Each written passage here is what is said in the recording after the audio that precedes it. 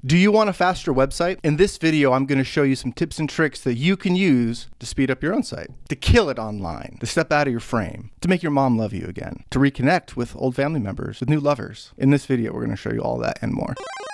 So we use three tools to ensure website speed.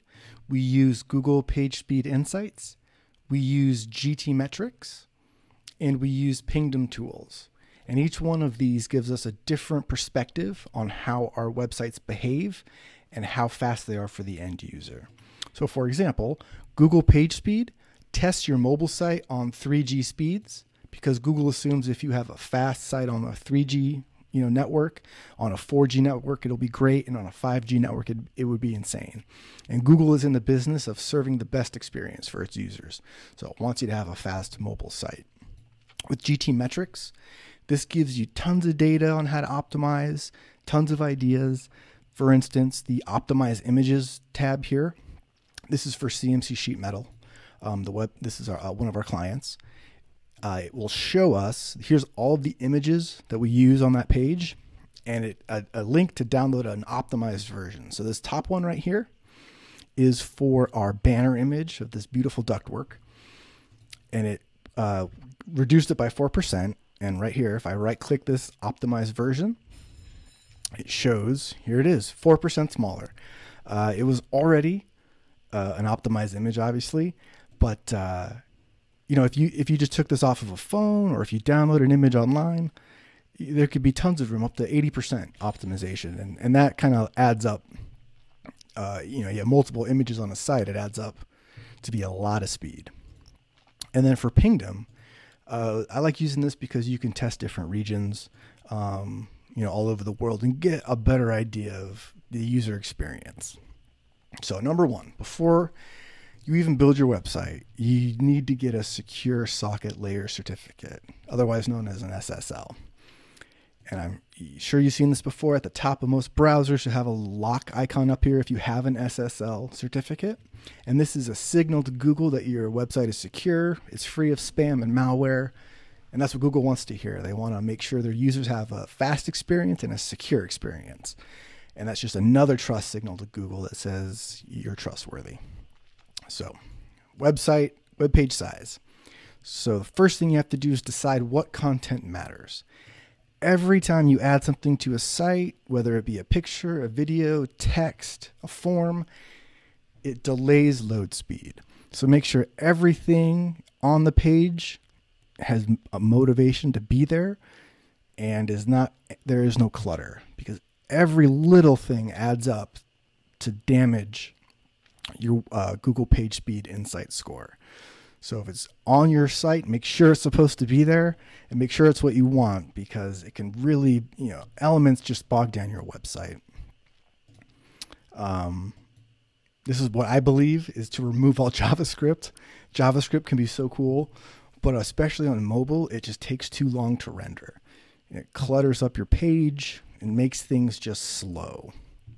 Um, to combat loading of images, we use what's called Ajax loading. That's asynchronous loading. So, for instance, on CMC sheet metal, the top portion would load, the part that you can see would load first, and underneath, this would all load in the background. So by the time the first top part loads in and you scroll down, it's already loaded. And this gives the illusion that your website is instant, you know, is, is super fast. And that's exactly what we want. Um, and I also advise you guys to avoid Adobe Typekit fonts. These take forever to load because every time your website's trying to load a font, it has to talk to Adobe, and that can take forever. Depending on where your user is, it can take a considerable amount of time. So I say just avoid them altogether. Uh, in that same kind of vein, use your own custom YouTube images. So if we scroll down here, we, we built this on Squarespace. So this image or this video right here is our own image that we made. We uploaded it to Squarespace ourselves. If we just had a link to the YouTube video, every time this page would load, the website would have to talk to YouTube and, and download that image and put it in front of you. It's just another step that slows your website down and it can be completely eliminated. Uh, on the vein of images, the most speed improvements you can find are in images because JPEG is a v- terrible format that is very, very uh, unoptimized. So, uh, number one is sizing. This image is very small. It's probably 400 pixels by 300 pixels, and it doesn't need to be any bigger. It's not a big picture. It doesn't need to be 2500 by 1500 to make sure it has the highest fidelity. Uh, this is going to be on a website or a phone, even even smaller. Um, it's just not going to be noticed, and it's room for optimization. Um, we use progressive JPEGs as opposed to regular JPEGs, and I found a little image that kind of demonstrates why.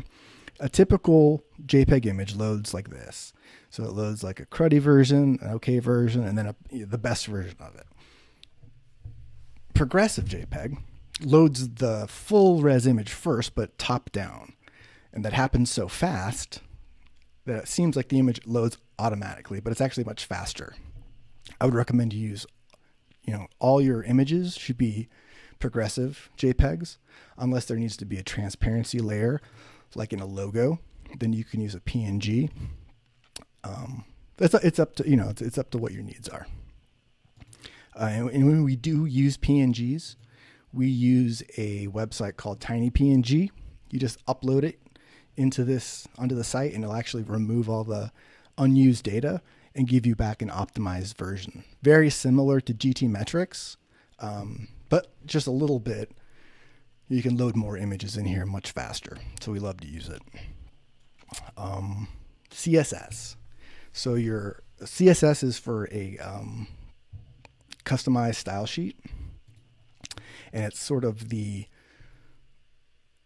directions for a browser to tell the elements what they look like color, padding, um, you know, what the background is, all that kind of stuff is put into this, put into your CSS. So, what we do is we define our, our elements that are used the most. So, that's, you know, font color, drop shadow, uh, for instance. Here we go. These are these are, but what I mean by drop shadows, you know these buttons have it right here. This image has has it. Um, also the the background color, the font colors, you know all this all this stuff is defined at the top of the page because as you grow your website and you have multiple pages, you're going to reuse the same elements. So this actually you just define it once, and every time you use it after that, it costs no real uh, no overhead for your browser. It's already defined. If you use it again, no problem. If you use it 20 times, no problem because it's already been defined once. So that's a nice optimization. Um, in that same vein, we alphabetize everything. Uh, your browser, whether on mobile or desktop, will optimize to make everything alphabetical. So, for instance, here, uh, FLMT, right, alphabetical order. If those were not in that order, a browser would take the time to put them in order before it processes it. So we remove that step, makes things load much faster. Not a crazy amount. Uh, none of these will make your website load, you know, five seconds faster, but this is just best practices so you can have the fastest website um, no matter how big it grows because, you know, websites grow and content grows and we're just trying to keep things manageable. Um, same thing with the the optimized definitions. Um, on mobile, right here, for instance, this is a font size on mobile for body text. Defined once. You don't want to define margin and padding and color every single time you want to define body text. Just do it once, and then every time it comes up, it will load much faster. Uh, moving on um, to, for CSS for design. So, uh, you know, we all like images and video and GIFs and love colors, but that takes time. Every image, everything on your website takes time. So you can actually do more with just color, font, and um, typography.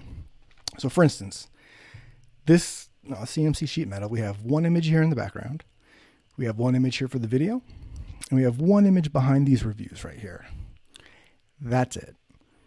Everything else is done with color. It's done with, um, you know, typography. And we do this because we could use images, we could use PNGs for some of these elements, but that would just take time. It would just slow your website down. Another example is on our, our website on oustermarketing.com. In our blog section, the H1 up here is actually animated. So if you look like slowly, this is sort of fading. And that costs next to nothing to do compared to these images down here. This takes up way more time. Having even as, as small as these as these are, takes up more time to load than it does to have this sort of cool animation that's attractive to the eye. Um, onto mobile page speed. So you want to do more with less. Like I said, Google is taking mobile page speed eh, or counting it more importantly. Soon it will be the most important thing about your website is its mobile page speed. Um, and so doing more with less is more important than ever. Uh, if, if, you're ever curious what your your what a website looks like on mobile, with actually without having to actually look it up on mobile, you go to a website and you right click it, go to inspect. This is for for Chrome. This brings up the inspector, and you press this little toggle device toolbar, and it shows you your mobile view. So this is what the website looks like on mobile. And like I said, do less with more. Just three images spaced out. We use typography to make things kind of look interesting, and that's it. it. Loads up fast and quick. You don't have, you know, tons of of images or video or GIFs that get in the way and slow it down. You just want it to be as optimized as possible. Um, a, a, way we did that is we uh, redefined our media callouts, um, our media queries. So typically on, in CSS, if you want to reference something on mobile, you use this whole string of characters. And what this does is tells it tells the your device, your mobile phone, hey, when you run into this website, this is a list of things I want you to do to make it look good on a mobile screen. And they all start like this at media only screen and, and then you define the, the width. So here is 600 pixels, so a mobile screen. That's 41 characters. You repeat that 300 times or whatever on a website and that adds up. What we did is we defined media, or I'm sorry, mobile, right here at mobile, and then we defined it as a certain size. So every time we have to reference mobile, it just looks like this at media at mobile. That's it. Same thing as this right here, but a quarter of the characters. And over the life of a website, as you add more pages, that really adds up. Um, great optimization technique. It's just best practice. Uh, another small one that I've seen is the display none. So in CSS, you can have things not be displayed um, by just using, you know, display none. On mobile, it actually just doesn't display it on the screen. So you think you're hiding something from mobile by using display none, but actually what you're doing is you're loading it and then just deciding for it not to load on the screen. So if it was a video, it would actually load in the background. You wouldn't be able to click it or see it on your mobile site, but it's still there and still clogging up all your speed. If you uh, like this video, please hit subscribe, ring the bells. Really helps us here at Ouster Marketing. Uh, thanks for watching. Take care.